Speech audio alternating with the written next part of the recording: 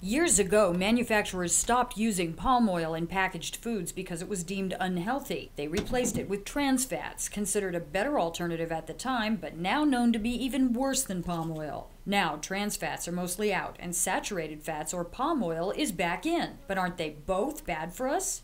Both of these types of oils are bad for you because, according to research, they both raise your LDL cholesterol by about the same amount.